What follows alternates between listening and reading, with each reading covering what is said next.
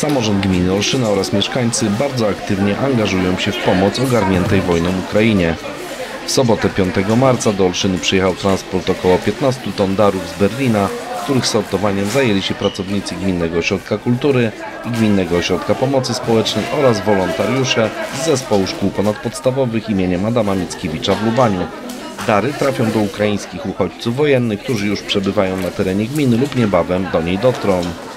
Porozumieniu z panią dyrektor Renatą Czuj e, z Zespołu Szkół Ponadpodstawowych e, w, w Lubaniu zorganizowaliśmy sortowanie i, i układanie tych wszystkich rzeczy, które dotarły do nas, do gminy Olszyna z Berlina e, w sobotę. Tych rzeczy przyjechało w sumie około 15 ton. Y, Gro z tych rzeczy to są właśnie ubrania. E, Niewiele otrzymaliśmy, jeżeli chodzi o środki czystości, higienę osobistą. Niemniej jednak spodziewamy się kolejnego transportu, który zostanie y, posortowany i rozdysponowany zgodnie z potrzebami dla tych wszystkich, którzy dotrą do gminy Olszyna. Na terenie gminy już przebywa kilkudziesięciu obywateli ukraińskich, którzy uciekli przed wojną. W chwili obecnej chcę powiedzieć, że na ośrodku wypoczynkowym Niwa y, w Karłowicach y, przybywają dzieci z domu dziecka i osoby starsze.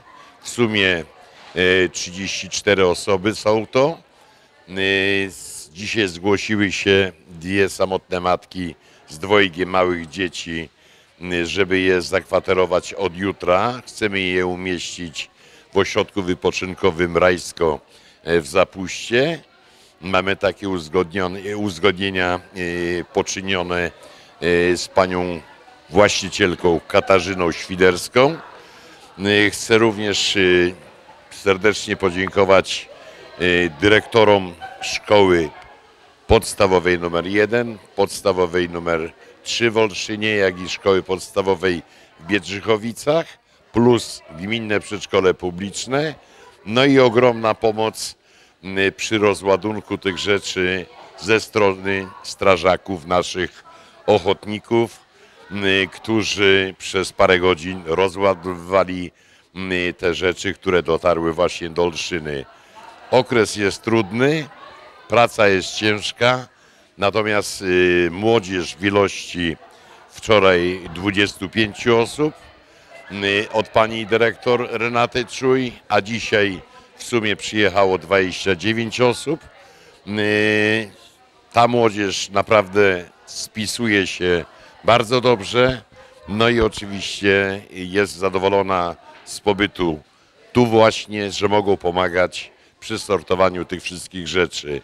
Mm, Jakie będą dalsze koleje losu, to ja nie jestem w stanie powiedzieć. Niemniej jednak y, ogromna pomoc tych wolontariuszy, tak bym to określił, jest niesamowita.